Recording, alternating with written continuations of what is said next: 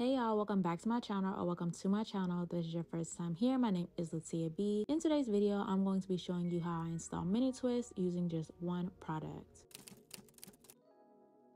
I'm starting off on freshly washed hair and I shared my wash day routine over on Instagram and I'll have it uploaded as a short very soon. But to style my hair, I'm using the Adwoa Beauty Baomint Moisturizing Curl Defining Cream. And y'all, this stuff is very creamy and so easy to work into your strands. I'm starting off by parting my hair into sections and I will be twisting the back section first.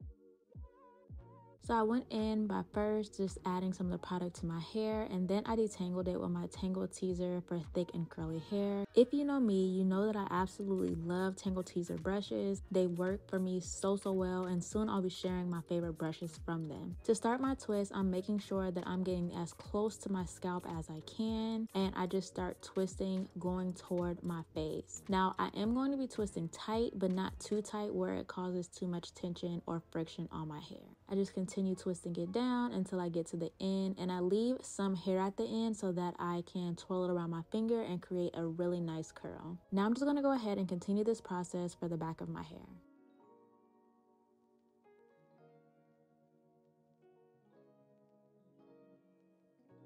And this is how it looks so far in the back. I'm not super concerned about the parts in the back since you won't really be able to see them anyway. But in the front, I did part my hair with a comb since my parts in the front will more likely be able to be seen. By the time I got to the front, my hair was a little dry, so I went ahead and sprayed it with a little bit of water. And then I just continued the twisting process. Mini twists are such a great protective style because they don't add any tension to your hair, they're not heavy, and they're easy to maintain throughout the week. So I'll likely be wearing my hair like this all week, and I I will be sharing some styles as well in my next video.